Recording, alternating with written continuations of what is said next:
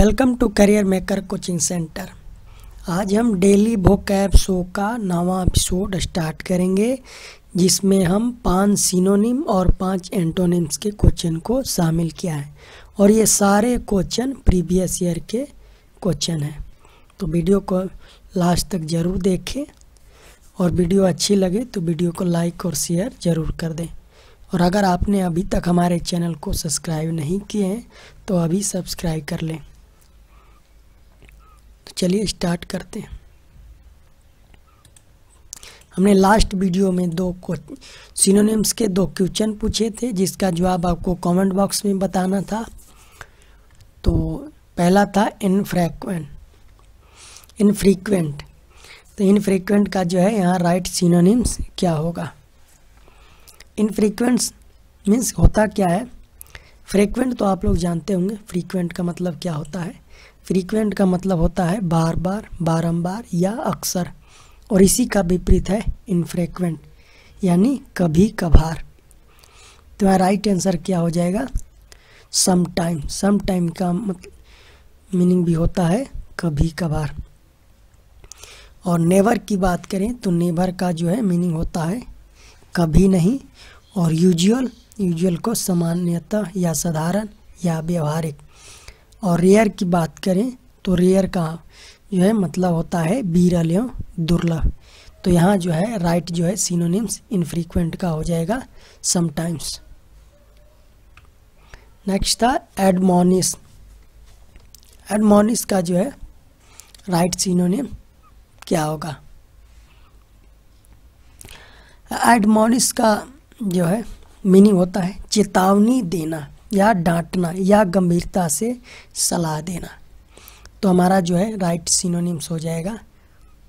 थ्रीटेन, threaten threaten जो है हमारा राइट सिनोनिम हो जाएगा। और थ्रेटेंस का भी मतलब होता है डराना या धमकाना।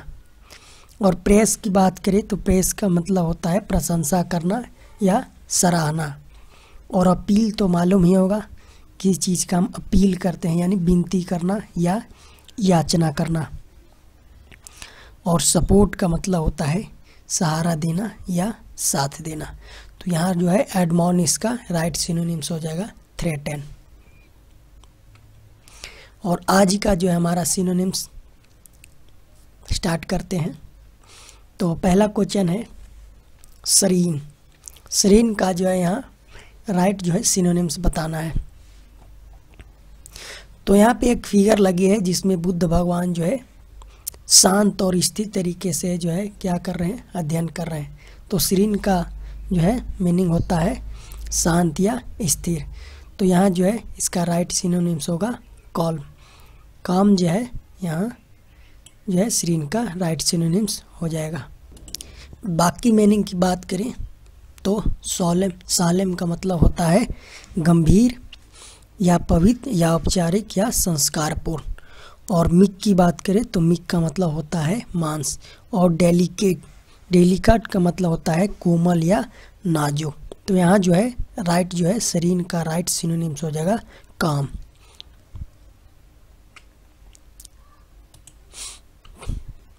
नेक्स्ट है ग्रूसम ग्रूसम का जो है यहाँ, राइट जो है, सिनोनिम्स बताना है।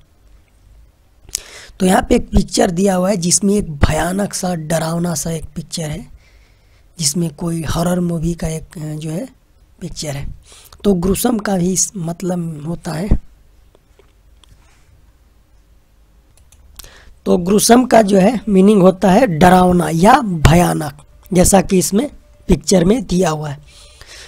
तो अगर हम ऑप्शन से बात करें तो ऑप्शन में नंबर वन है हेटफुल और हेटफुल का मतलब जानती होंगे घृणा करना या प्रिय या नफरत करना। और पेनफुल पेनफुल तो जानते हैं, पीड़ादायक, तकलीफ़ दे या कष्टदायक। और ट्रैजिक की बात करें तो दुखांत या दुखद जो है, घटना होता है। और फ्राइटफुल तो फ्राइटफुल का जो है, डरावना या भयंकर। तो हमारा जो है राइट सिनोनिम्स क्या हो जाएगा? फ्राइटफुल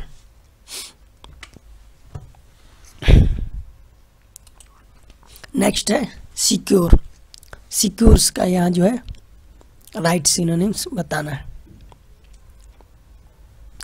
तो यहाँ पे एक पिक्चर दिया हुआ है, जिसमें एक चाबी का जो है चिन्ह निशान है। यानी किसी चीज़ को सुरक्षित रखने के लिए हम क्या, चाबी के, ताला या चाबी का जो है, इस्तेमाल करते हैं। तो हमारा राइट जो है सिक्योर का जो है मीनिंग होगा सुरक्षित या निश्चित या महफूज और अगर हम ऑप्शन की बात करें तो सीक्रेट सीक्रेट का मतलब होता है गुप्त, भेद या रहस्य, ये छुपा हुआ। और कंफर्टेबल तो मालूम ही होगा, आरामदेह या सुखदायक।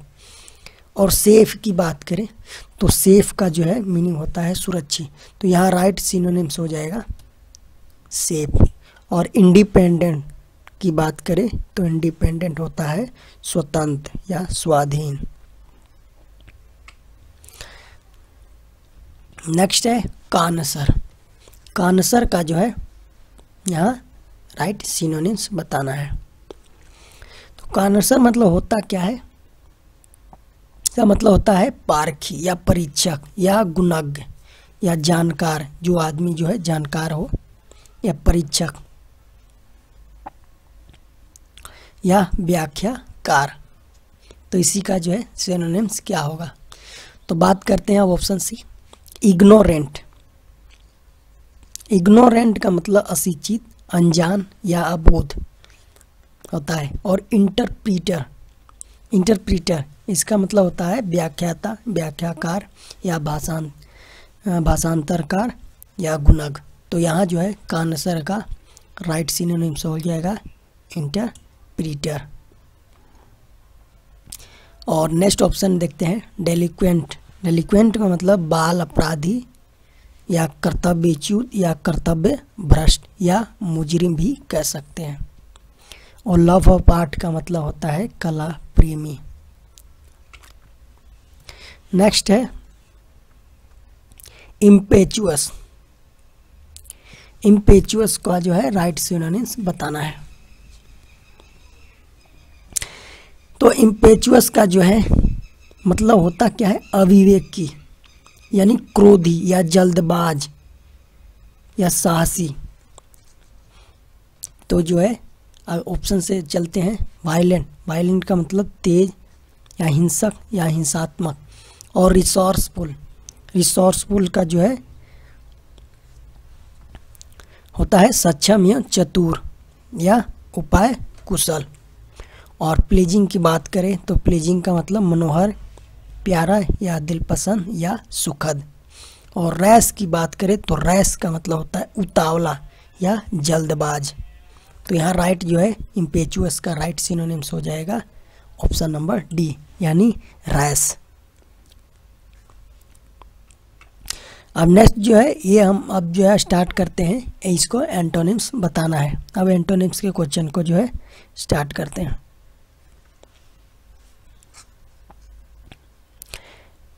नंबर वन है यूनिवर्सल। यूनिवर्सल का जो है, राइट जो है, एंटोनिम्स बताना है।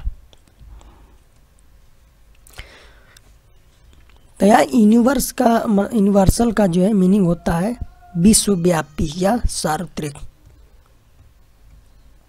और ऑप्शन की बात करें तो ऑप्शन नंबर वन है नैरो। नैरो का मतलब होता है तंग, यानी सकड़ा या सिकुड़ना। और रीजनल का जो है मीनिंग होता है क्षेत्रीय या प्रादेशिक। तो यहाँ जो है यूनिवर्सल का राइट सिनोनिम्स हो जाएगा। रीजनल और मिनिएचर की बात करें तो मनिएचर का मिनिएचर का जो है मीनिंग होता है लघु रूप यानी छोटे आकार का। और सब्सिडरी का जो है मीनिंग होता है सहायक या मददगार। तो यहाँ यूनिवर्सल का राइट जो है एंटोनिम्स होगा रीजनल नेक्स्ट क्वेश्चन है।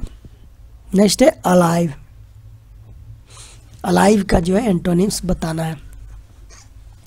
तो अलाइव मीन्स होता है ज़िंदा या जीवित। तो इसका जो है राइट एंटोनिम्स हो जाएगा डेड यानी मरा हुआ। और पैसिव की बात करें ऑप्शन में चलते हैं। ऑप्शन पैसिव का मतलब आपको बता दें, होता है निष्क्रिय। और असलीप का मतलब होता है सोता हुआ या सुसुप सुसुप या निद्रा मगन और ड्राउजी और ड्राउजी का मतलब होता है निंद्रालु या नींद से भरा हुआ, यानी आलस्य पूर्ण भी कह सकते हैं, ड्राउजी का मतलब।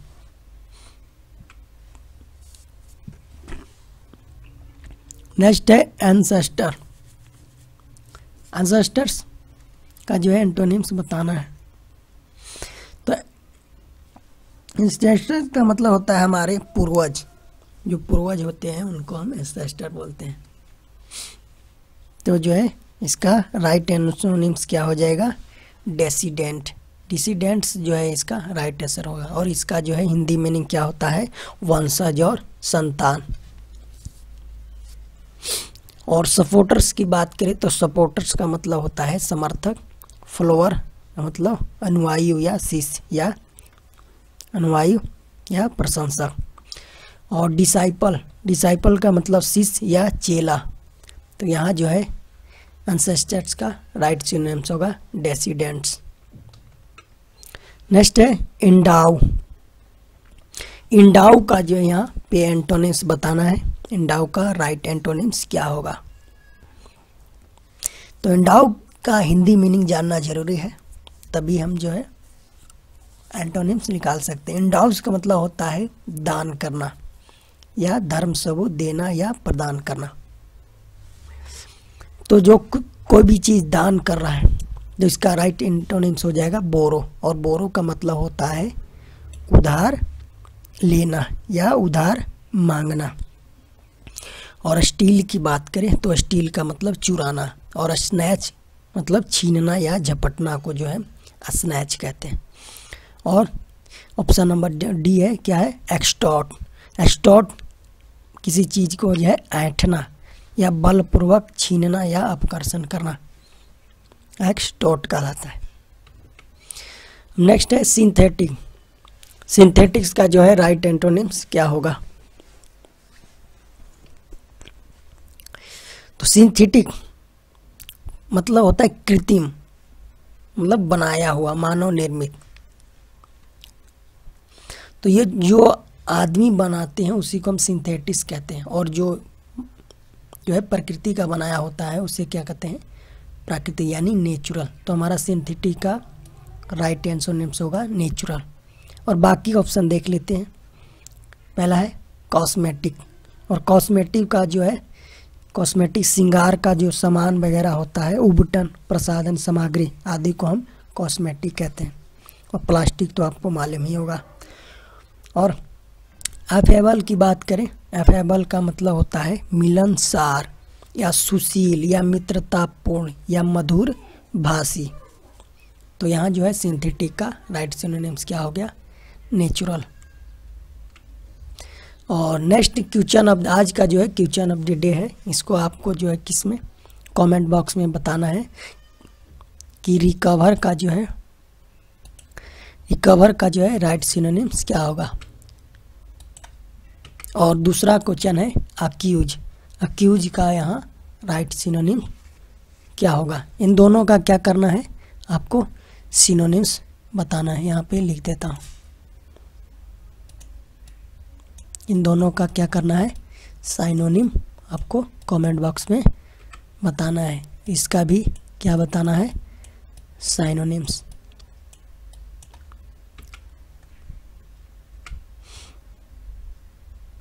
और आज का सेशन इतना ही पे समाप्त होता है।